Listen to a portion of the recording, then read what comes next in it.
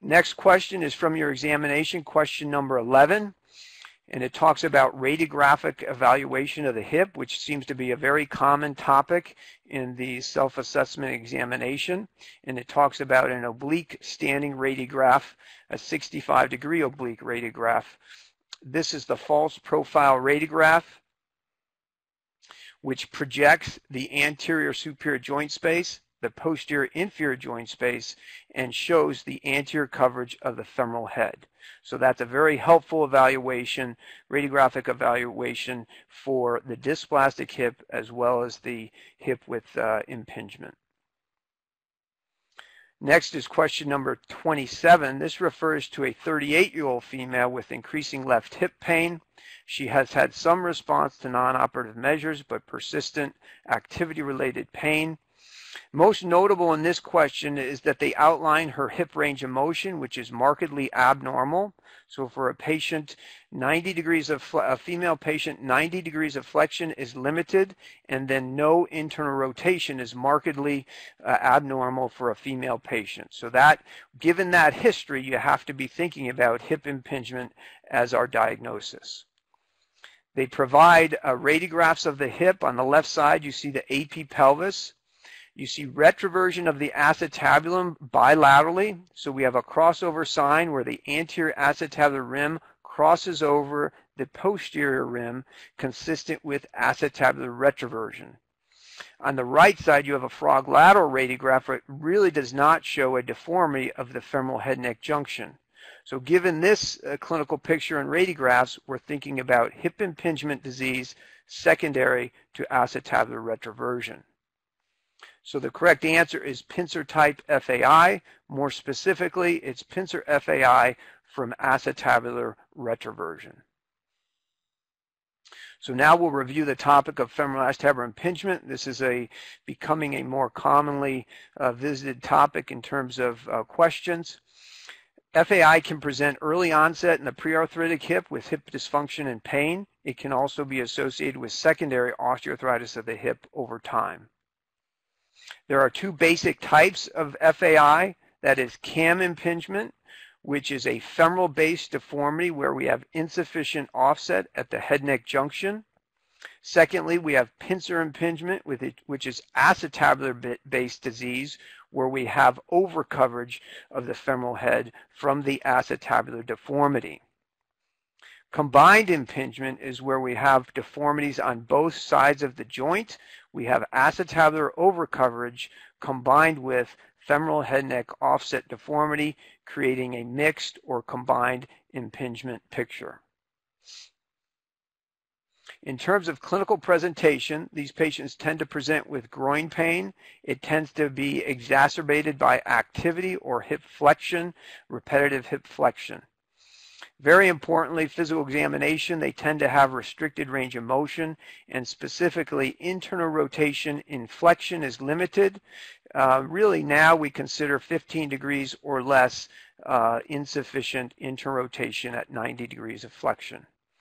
The anterior impingement test is very helpful in terms of making this diagnosis.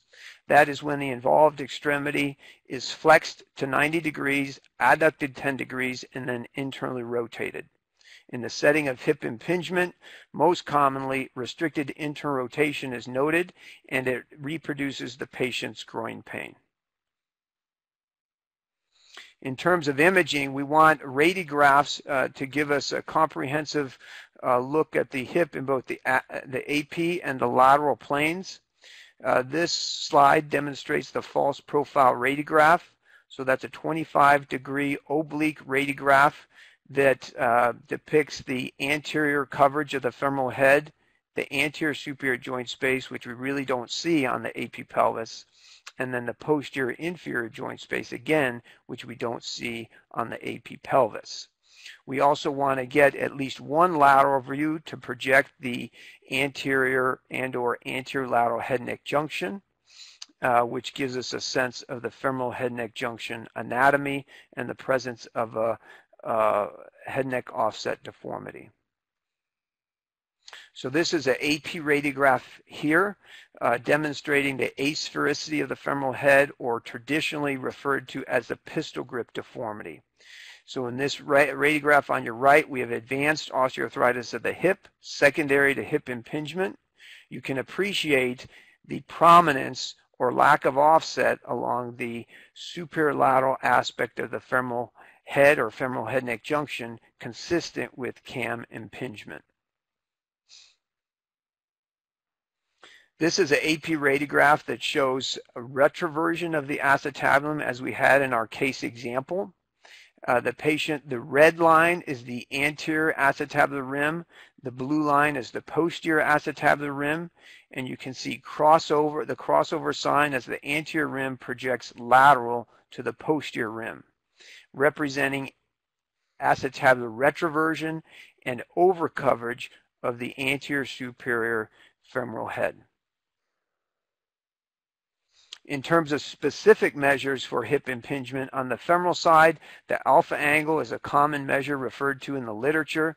This is an angle subtended by the axis of the femoral neck, and then a third point at the point at the the area where the femoral head loses its sphericity as it uh, goes into the femoral neck. So the angle subtended by those two lines represents the alpha angle. historically, uh, values in the mid 40s to higher were thought to be abnormal. More recently, values in the, the low 50s to mid 50s and above are thought to be abnormal and potentially consistent with femoral sided impingement. The head neck offset ratio is another specific measure of the femoral head neck anatomy. Um, this ratio consists of the perpendicular distance from the anterior aspect of the femoral head to the anterior aspect of the femoral neck in line with the neck axis. So that distance divided by the diameter of the femoral head is the head neck offset ratio. And ratios less than 0.17 are considered to be consistent with the diagnosis of CAM impingement. In terms of 3D imaging, the MRI is the best modality. It gives us a, a better uh, look at the morphology of the hip. We can also assess the acetabular labrum and the articular cartilage of the hip. CT scan is most commonly used for more complex deformities and preoperative surgical planning. The MR also rules out other diagnoses about the hip that may be associated with um, uh, FAI morphology. In terms of treatment, again, we have non-operative measures, basically activity restriction, uh, anti-inflammatory medicines, physical therapy, which should focus on strengthening, not range of motion. If the patient fails non-surgical treatment, then uh, surgical treatment should be considered. Hip arthroscopy has really become the mainstay treatment for hip impingement disease. Certainly for focal or accessible disease, uh, we can uh, access and treat these uh, diseases very effectively with arthroscopic management. And to date, the literature supports arthroscopy as effective as open procedures. Open procedures uh, today are more commonly used for more complex non-focal FAI disease patterns. The surgical dislocation of the hip gives us wide exposure of the hip joint and we cor can correct deformities on both the acetabular and femoral sides. The periacetabular osteotomy has a specific indication in hip impingement surgery. This is for the treatment of major acetabular retroversion. So the periacetabular osteotomy can be used to antevert the acetabulum in the setting of major acetabular retroversion. Total hip arthroplasty is reserved for the patient that has FAI but has significant secondary osteoarthritis of the hip this is most commonly seen in patients as they get into their 50s or over 60 years of age.